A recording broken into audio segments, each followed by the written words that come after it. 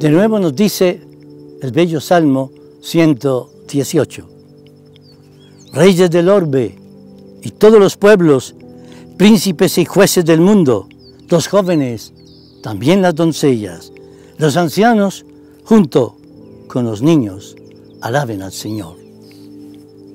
Es maravilloso entonces la invitación hoy para que alabemos al Señor y para que reconozcamos que en su bella palabra Él nos está invitando a hacer de este mundo un canto de alabanza, una liturgia, es decir, una celebración, que comenzada en el templo salga a las calles, como dice tan bellamente el Papa Francisco, vayamos a primerear con la noticia de Dios por las calles, por los senderos, para hacer así toda una alabanza, un culto, para hacer del mundo un templo majestuoso.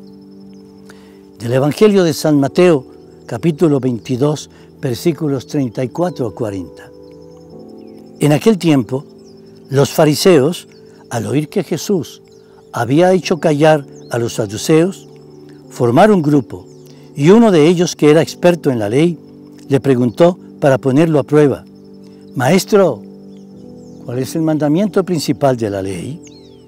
Él le dijo, amarás al Señor tu Dios con todo tu corazón, con toda tu alma, con todo tu ser. Este mandamiento es el principal y primero.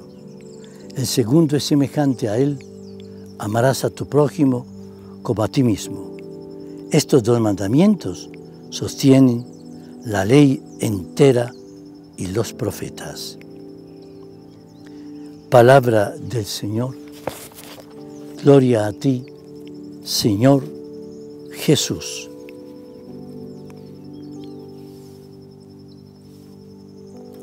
Palabra maravillosa que es una unión de Antiguo y Nuevo Testamento, porque el Señor toma unas palabras del Antiguo Testamento.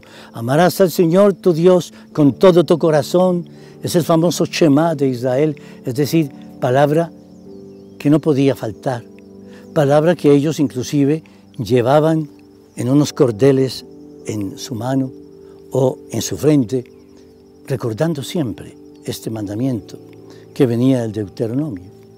Pero Jesús entonces pone un segundo paso, pero amarás a tu prójimo como a ti mismo. Por lo tanto, entonces, recordemos que en este mundo del amor hay a veces dificultades, hay a veces dolor, hay a veces frustración, hay a veces golpes, traiciones, hay tantas cosas. Pero, ¿saben ustedes qué es lo que más frustra?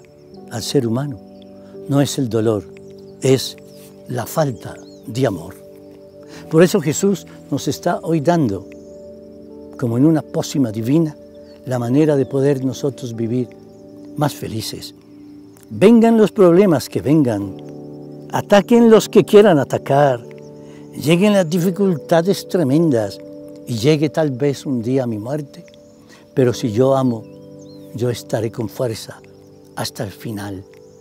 Si yo amo a Dios y amo a mi prójimo, estoy en esa línea maravillosa de ir tejiendo la vida como una hermosa telaraña de amor, donde muchas personas caigan en el amor divino. Por eso hoy, cuando celebramos la fiesta de San Ezequiel Moreno, me llama la atención una de sus frases. Decía él, que reine, hijos míos, el sagrado corazón de Jesús en nuestras almas. Que reine las familias, que reine los pueblos, que reine en la sociedad y todo será salvo. Nos bendiga el Señor en el nombre del Padre, del Hijo y del Espíritu Santo. Amén.